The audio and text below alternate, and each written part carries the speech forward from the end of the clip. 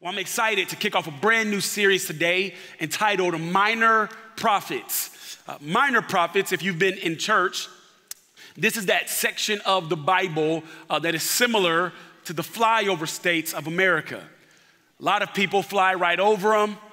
You hear about them in Sunday school or VBS, but it's not something that we visit a lot. But our pastor and our leadership sat down and said, What would it look like to go uh, into the minor prophets and extrapolate an, an extreme message that we all need to hear? We firmly believe that the minor prophets have a major message for all of us. Each week this summer, we're going to take a book of the minor prophets and summarize. We're not going to go, go through the entire book. We're going to summarize that book, and we're going to have 12 books of the Bible that we're going to walk through each and every week. Today, I have the opportunity to dive into the book of Hosea, who was a minor prophet. Before I just throw out those words and assume you know what I'm talking about, let me tell you just three things about a prophet in the Bible. A prophet was a man or woman of God that God chose to speak on behalf of him. The second thing is, usually the word that God gave the man or woman that was a prophet was a hard truth designated to turn the people back to God. The third thing is, when prophets spoke, their messages often went unheeded and ignored, and they themselves were despised. That's the filter that I want you to think through and think about the entire summer as we talk about these prophets. Today, as I dive into the book of Hosea, I want to open up our time together with a story. There was a billionaire who hosted a party at his mansion. Towards the end of the night, he invited, all of his guests to the backyard for some entertainment. He invited them to the backyard to look at his pool full of alligators. He invited these guests back to the backyard. They went, uh, circled around the pool. They're looking at these alligators. He's telling them the names of each alligator, telling them where they come from, and all of these different things about these alligators. This host of the party, this billionaire, was known to dare people to do extreme things. So he says, Hey, before you all leave tonight, I want to dare every single one of you, whoever's willing to take me up on it, to jump into the pool from this end, swim to the other end, and if you make it out alive, I will give you your weight in gold. There was a hush over the party. He said, Okay, I'll up the ante. Not only will I give you your weight in gold, I'll also throw in this mansion you see behind me. No one said anything. He thought, okay, this is an extreme dare, so I understand why nobody's taking me up on it. He chuckled, got ready to dismiss the party guests to go home, and all of a sudden, all of them heard a splash behind them. They turn around to see, and they look, and there's a man in the pool fighting for his life, swimming to the other side. Every step of the way, there are alligators chomping at the bit to get a piece of this man. He's swimming for his life, fighting for his life. What seemed like hours at a time only took a couple of seconds. He swam to the other side, jumped out, stood up, bent over in exhaustion, and was huffing and puffing. The party guests ran to the other side of the pool, checking on him, asking if he was okay. The billionaire pushed through the crowd and said, Hey, I'm a man of my word. I'm going to give you your weight in gold and I'm going to give you this mansion behind me. But first, you got to tell me what possessed you to do that. The man, out of breath, looked up and said, I don't care about any weight. I don't care about a mansion. Point me in the direction of the person who pushed me in. I don't want no gold. I don't want no mansion. I want to fight. Let me ask you this, people of CBC. Have you ever been pushed into a situation that, was a, that you didn't expect to be in? Have you ever been pushed into a situation that felt like it was too much to handle? Maybe for you, you were pushed into a project at work and you feel like, man, I feel like I'm in over my head. Maybe for you, you say, Marquise, I got some more weightier things that I've been pushed to in my life. I was pushed into an unplanned pregnancy. I felt like it was too much to handle. Marquise, I was pushed into a divorce that caught me by surprise. Man, Marquise, I was pushed out of a job that I thought I would be at much longer. See, we all know what it's like to be pushed into a situation that we weren't ready for, either by life's circumstances or by our own choices. But here's what I want to ask you today what happens when we're pushed by God into situations we don't feel ready for? See, there's often times where God will push us to do something that we're not expecting. Maybe for you in this room, God has pushed you to forgive someone who has hurt you beyond what you can even bear. Maybe God is pushing you to give financially when you feel like you have nothing left to give financially. Maybe God is pushing you to actually leave a job because He's telling you that He has something better for you. See, we all know what it's like to be pushed, but if you're a believer in this room, you also know what it's like to be pushed by God to do something that you feel ill equipped to do. Today, I want to tell you what God pushed Hosea into that he felt like he was not prepared for. But before I jump into that, I want to tell you why God pushed Hosea. God pushed Hosea because Hosea lived in a time period that was very peculiar. The time period in which Hosea lived in, he lived in the northern kingdom of Israel. When the kingdom split, the southern kingdom was called Judah, and the northern kingdom of Israel is where Hosea lived. Instead of the people of God in the northern kingdom remaining steadfast to God, there was a pagan king who came in and brought in idols with him. When he brought these idols in, the people of God, instead of remaining true to God, adopted the ways of the world, and as a result, the land suffered.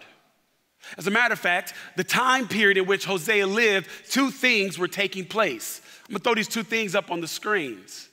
The first thing was spiritual abandonment. People were leaving and abandoning their faith and adopting idols that the king brought in. As a result of that, cultural disintegration began to take place. The culture was disintegrating and waning away. Why? Because the people of God, instead of remaining true to God, adopted the ways of the world. I'm gonna give you a sidebar real quick. Regardless of being the minority, regardless of whoever is in power, God never intended for his people to adopt the ways of the world. As a matter of fact, the things that take place, the byproduct of the people of God adopting the ways of the world is cultural disintegration. If you're keeping up, you realize this is not just something that's taking place in the time of Hosea, it's something that's taking place right now. We, right now, are living in a time period where we have a choice to make. Either as the minority, we're going to remain true to God or we're going to adopt the ways of the world. We're either going to stay true to God or we're going to receive the idols, watch this, that the king brings in. And I want to let you know right here, right now, that when we as the people of God do not follow God and abandon what God tells us to do, the entire land suffers. When we just go with the flow, when we just go with whatever culture is telling us to do, the land begins to suffer when the Christians aren't doing what God called them to do. That's how influential we are, even as the minority. I want to let you know this even as the minority, when we don't follow God, the culture suffers. And God is calling us to remain true to him. And so here Hosea is living in a time period where the people of God are not following God. As a matter of fact, the people in that time period, the, uh, the Israelites at that time, the children of God, they had the same problem that we have today. Here's our problem. It's in your outline. The problem is this our unfaithfulness no longer makes us uncomfortable. Our unfaithfulness to God no longer makes us feel uncomfortable. It's a good thing when you feel uncomfortable when you're doing something you ain't got no business doing. That conviction that you feel, watch this, is a gift from God. Every believer in this room, you know this, there's an alert system built into us when we give our life to Jesus called God the Holy Spirit. And the Holy Spirit is leading and guiding us. And whenever you feel that conviction, here's the deal it's a difference between condemnation and conviction. Condemnation is God shaming and guilting you for your mistakes. Conviction is a loving father wooing you back to Him, saying, Hey, if you go down that path, it'll lead to destruction. Keep coming back to me. All of us know what it's like to feel that conviction, but what do you do when you get convicted? The people in this time period, they suppress that conviction. If you suppress conviction long enough, you'll start to feel comfortable living the way that you want to live. And our unfaithfulness should make us feel weird. I want to pray this over this entire room. I pray a feeling of uncomfortability over everyone listening to me who's living the way that God does not want them to live. I pray you get so uncomfortable that it forces you to live differently and to live for God. We all know what conviction is. I remember when I gave my life to Jesus in high school, I remember literally saying these words in high school and for college, it for that matter. I miss the days when I wasn't convicted. Oh, I miss the days when I just did what I wanted to do. There was no alert system. I didn't have to feel bad about anything. I missed those that I remember thinking to myself, I feel so convicted. Can I say it this way? When I started to follow Jesus, I couldn't even sin right. I was trying, I was trying to sin, y'all. I was trying to do it. It just felt so weird to me. That conviction is built in. I'll never forget my mom, my mom would always say these words before we hit the door. My parents had bought me and my twin brother these cars when we graduated. My first car was a Chrysler 300 on 22 inch rims all black. I loved it.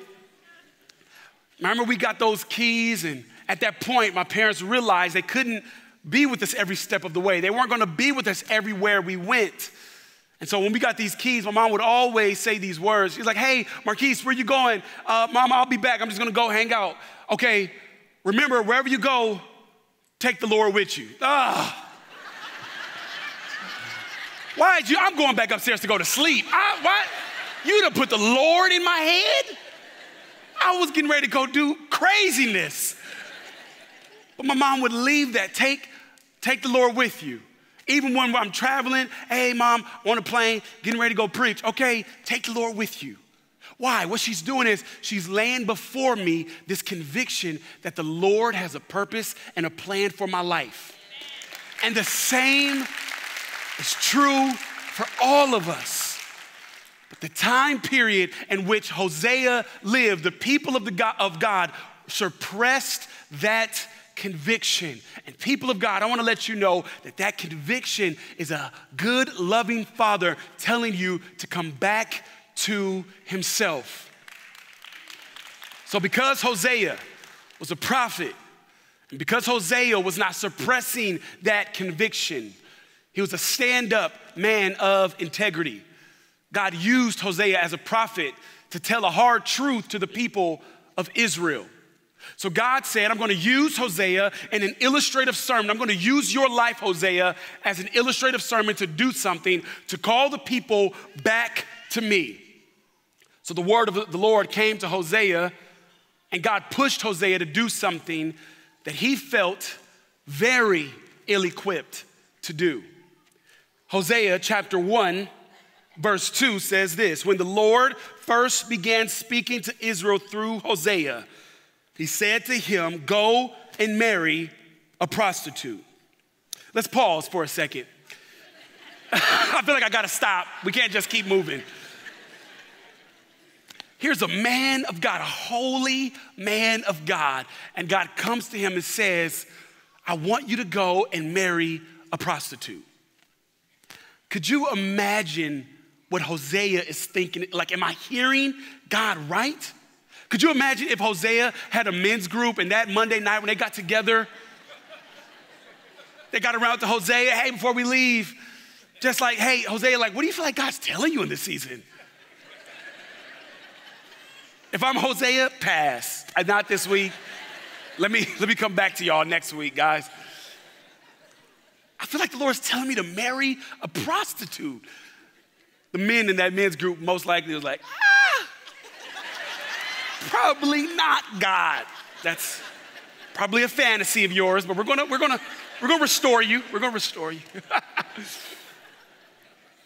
Let me also say this. I don't want to just stand up here and flippantly say those words. I know the reach that CBC has. If you're in this room or you're watching me online and you're someone who is in that lifestyle of prostitution, I want to let you know something. God is using this lifestyle as an illustration. He's not beating up the individuals in that lifestyle.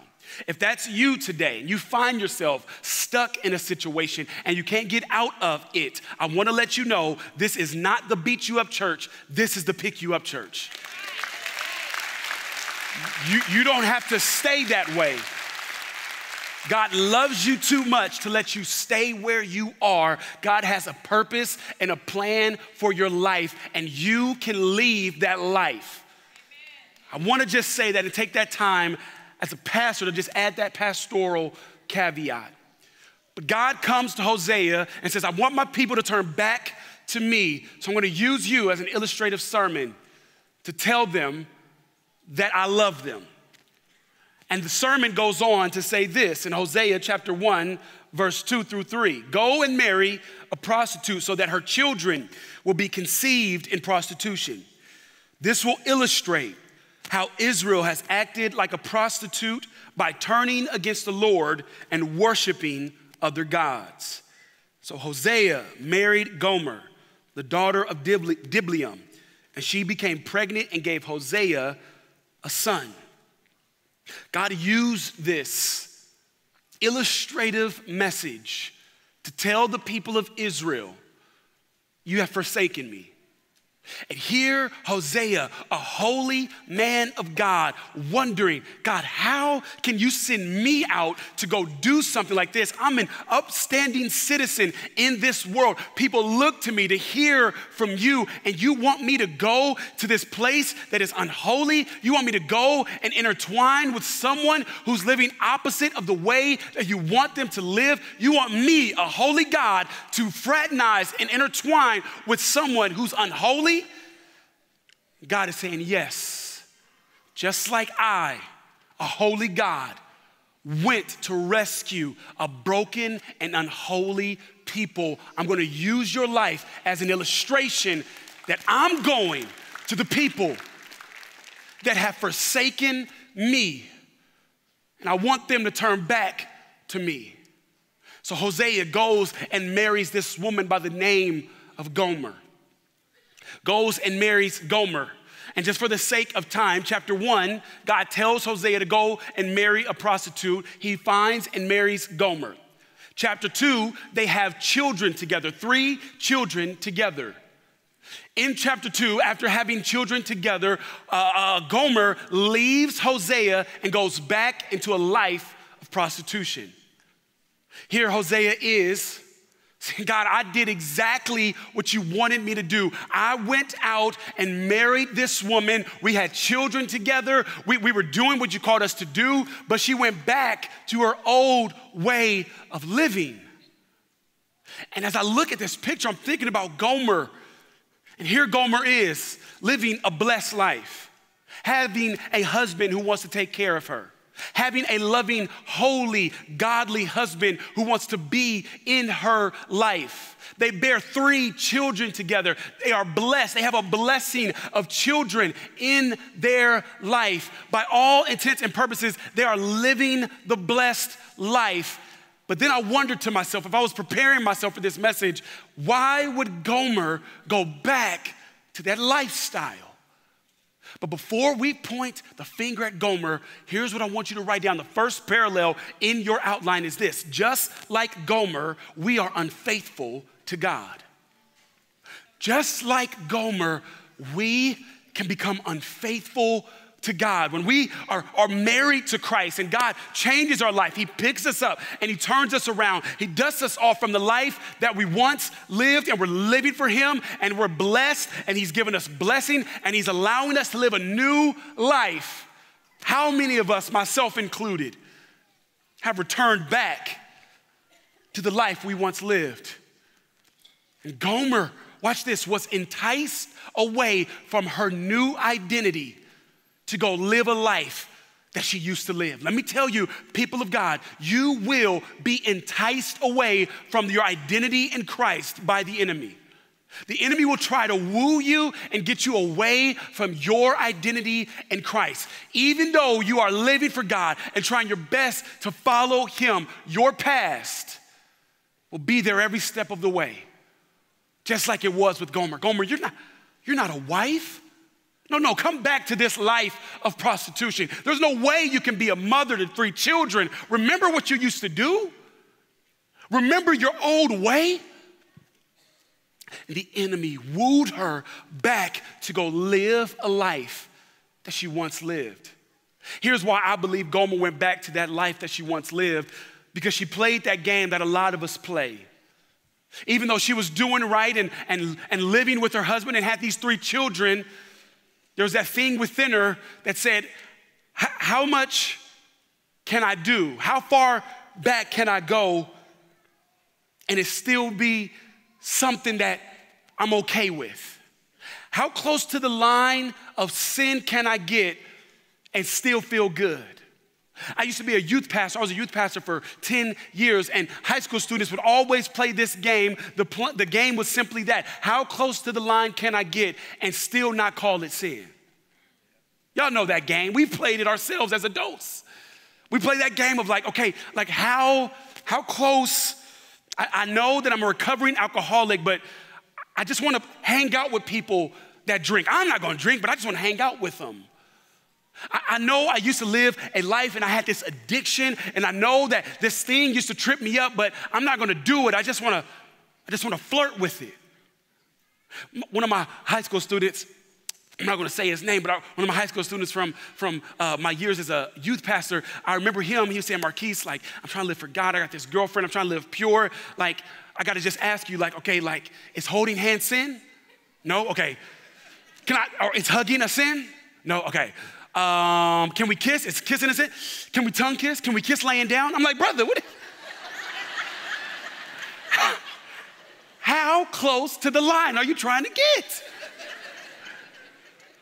And all of us, we play that game of, no, I got this.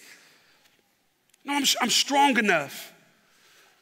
I've, I've been away for it from some time now, and I can go back and just look. I'm not gonna not gonna engage. Every time you play this game of, I just wanna get close to the line, I wanna let you know the enemy wants you to get close to the line so he can pull you over the line.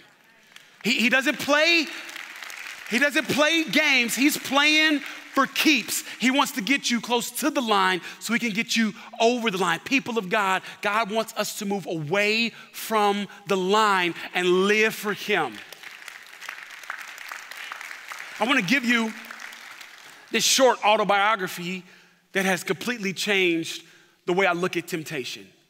See, we're all going to be tempted, we're all going to be enticed in our life. But I read this autobiography, it's five chapters long. There's a woman by the name of Portia Nelson that wrote this autobiography. She looked back over her life. She said, This is an autobiography of my life of how I avoided temptation. The name of her autobiography is There's a Hole in My Sidewalk. Chapter one, there's only a couple of sentences in each chapter. Chapter one, I walk down the street. There's a deep hole in the sidewalk. I fall in. I am lost. I am helpless. It isn't my fault. It takes me forever to find a way out. Chapter two, I walk down the same street there is a deep hole in the sidewalk. I pretend I don't see it. I fall in again. I can't believe I'm in the same place, but it isn't my fault. It still takes a long time to get out. Chapter three I walk down the same street. There's a deep hole in the sidewalk. I see it is there. I still fall in. It's a habit, but my eyes are open. I know where I am. It is my fault. I get out immediately. Chapter four I walk down the same street. There's a deep hole in the sidewalk. I walk around it. Chapter five I walk down a different street.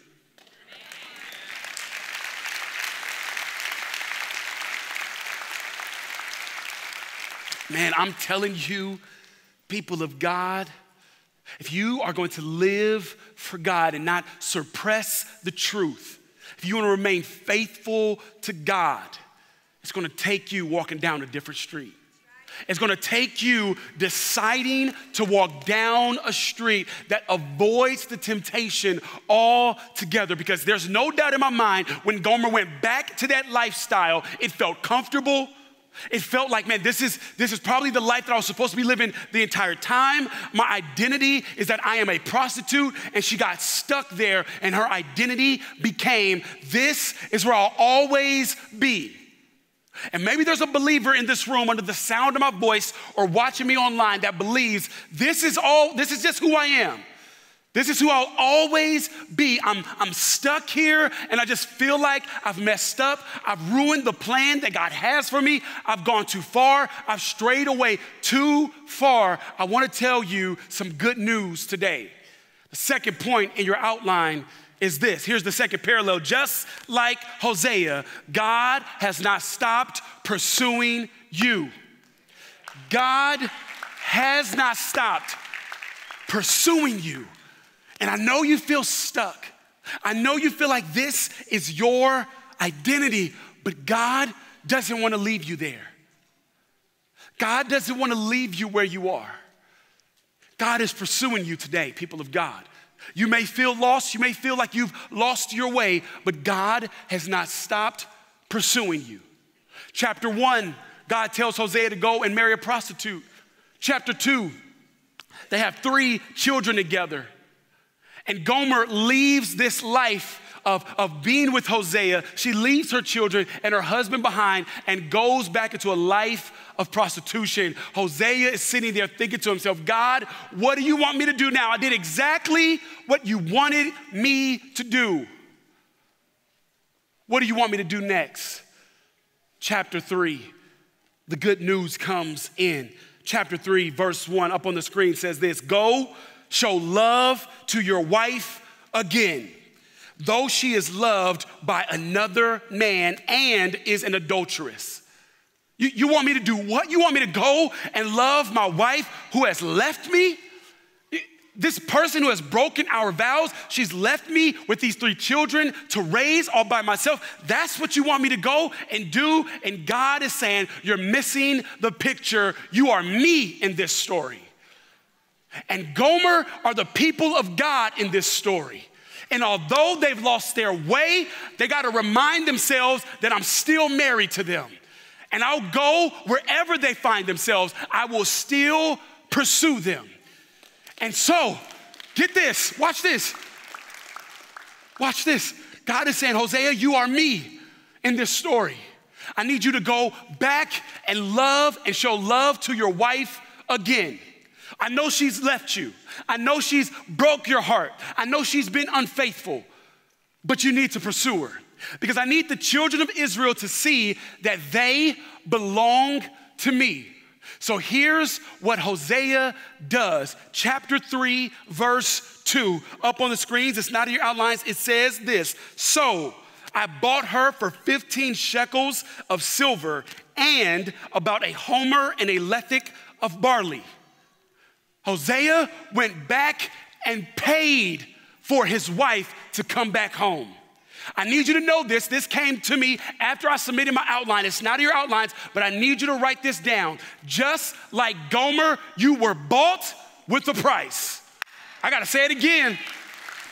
Just like Gomer, you were bought with a price. And I know when you feel stuck and you feel like there's no way that God loves me where I am, and the enemy will try to get you to believe that you belong to Him. But that's not the case. God paid for you, not with his, uh, not with gold and not with silver. He paid for you with the blood of Jesus. Here's what you need to know God did not steal you from the enemy. If God stole you from the enemy, that means the enemy had rights to you. The enemy can't come to God and say, He belongs to me, she belongs to me, they are mine. Because in that event, what God would do is says, the, These are my children. And not only are they my children, I have the receipt for their life. At that moment, He would bring Jesus to the forefront and say, My son died for them. If you need a receipt, look at my son's left hand where the nail went through. If you need another receipt, look at his right hand where the nail went through. If you need another receipt, look at his feet where the nail pierced him. If you need one more receipt, look at his side where the Roman soldier pierced him and blood and water poured out of his side for his children. I want to let you know there's a receipt over your life. There's a receipt over your life, and it's the blood of Jesus. If you need to be reminded that you belong to God, look to Jesus. If you need to be reminded how much you're worth, look at the wounds in Jesus' hands. Jesus said, My blood spilled for them. You were bought with a price. And Hosea is God in this story. And he says, Go and pay for your wife, just like I'm going to pay for my children. People of God, the enemy will try to trick you to believe that you are his. But any item that has a receipt tells you who's the rightful owner. God has bought you with a price. Here's the last and final thing you need to know God is not mad at you, God is not angry with you. Here's what a good, loving father is doing for you and to you today. Just like Israel, God is pleading with you. He's pleading with you. The last chapter of Hosea, chapter 14, says, Return Israel to the Lord your God. Your sins have been your downfall.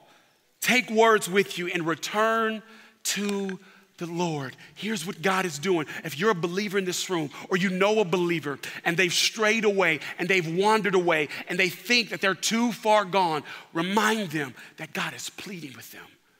Come back to me. I'm not, I'm not waiting on you so that I can beat you over the head. Come back to me. I'm a good, loving father. Jesus said in Matthew 11, 28, Come to me all of you who are weary and burdened down, and I will give you rest. People of God, He is pleading with us to return back to Him. Not because He's angry, He's standing there with open arms to let you know I paid for you and I've got a better life for you. Now that you've entered into covenant with God, you're married to Him. You're married to Christ. This is the picture of Hosea. Tell my people I'm married to them. And God, He doesn't have the type of love that we have. He doesn't have as long as type of love. As long as you do right, I'll love you. As long as you treat me right, I'll honor you. As long as things are good, I'll be good to you. No, He has even if type of love. Even if you walk out that door, I'll still be right here waiting on you to come back. Even if you leave me, even if you mess up, even if you make mistakes, even if you find yourself stuck, I'm still married to you. The three words that I want to leave with you today that God is saying to us that we are married to Christ. Here's the three words I want to leave with you. It's the title of my message. God is saying to you today, I still do. We're married. I still do love you. I still do have a purpose for you.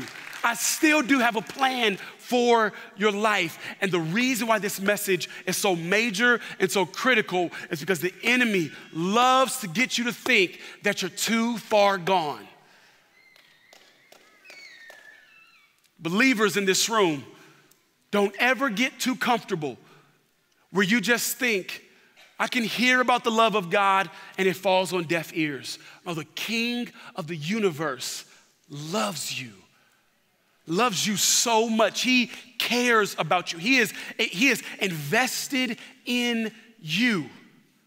He loves you so much. He loves you so much. He's concerned about you. And even as believers, we need to be reminded of this. I need to be reminded of this. I can't believe, as a matter of fact, Ricky, you don't even know this man, but you bless me. Just the other last month, a friend of mine by the name of Ricky, he's sitting down front. He has no idea that his words bless me. I need to be reminded of this. We were at men's retreat.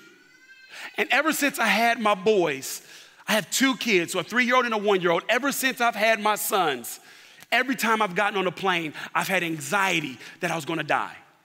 I don't really tell people, I'm thinking this plane is gonna go down. I gotta be here for my boys. I have anxiety, extreme anxiety that I'm getting ready to die, that this plane is gonna crash.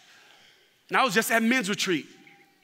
And I was up and I remember sharing with you, Ricky, and I just happened to say, Bro, I get on planes and I'm just nervous. I travel a lot to go and speak other places. And every time, for the last three years, every single plane ride, I thought to myself, this plane's gonna go down. Last month, I shared that at the group of people, the group of men at a table. And Ricky looked at me and said, Yeah, but you gotta remember, even if you did die, God loves your family more than you do. And, and I'm telling you, Ricky, that one sentence, I've probably been on five planes since that last time we talked. I sit on that plane, I go right to sleep. Knocked out. I, I mean, turbulence, I mean, I'm knocked out. I didn't know you were gonna be here, but I wanted to remind, I wanted to tell you that. Here's why I say that. God, I had to be reminded in that moment. No, Marquise, you don't have control over this life. Even if you were out the picture, guess what?